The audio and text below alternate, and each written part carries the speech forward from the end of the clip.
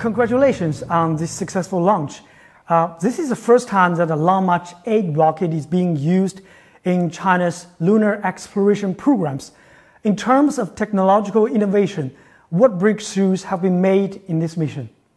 Uh, Chang'e-8 originally designed was to 呃，长征八号原来设计呢是为了发射这个低轨星座。低轨星座呢，大部分都是，呃，太阳同步轨道，呃，轨道高度大概从五百到一千一百公里。但是呢，这个长征八号本身有一个性能比较好的二级，它具备发射 GTO 以及 LTO，也就是低月转移轨道这样的这个能力。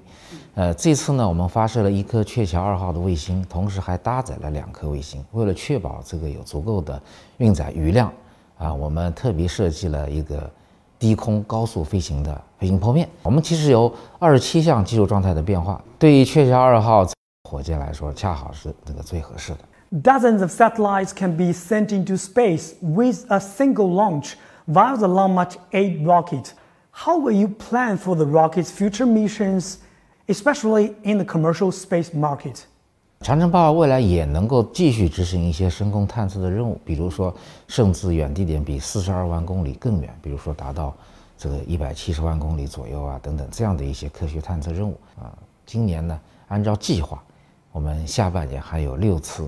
发射任务，呃，其中一半是现在我们熟知的长征八号，另一半是我们正在研制的长征八号改进型火箭。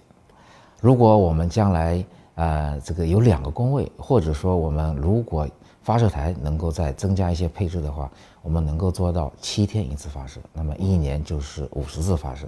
我们也正在照此努力，正在文昌准备建设一个年产五十发长征八号的总装脉动生产线。You have developed several types of rockets, including the Lamarch 7 and Lamarch 8.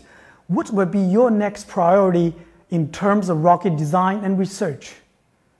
我们可能会重点打造刚才说的长征八号这个改进型火箭，因为这个氢氧木级我们是照着国际最先进的水平去研制的，所以我们会把它打造的好用、经济性强，同时呢性能先进。我们评价一款火箭的性能，不仅仅是看它的运载能力，还要看它的运载系数。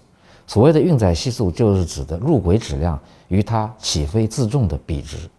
对于我们院来说，无论是在甲烷也好，或者在我们原来的液氧煤油也好，或者未来的液氢液，氧也好，我们有一个布局。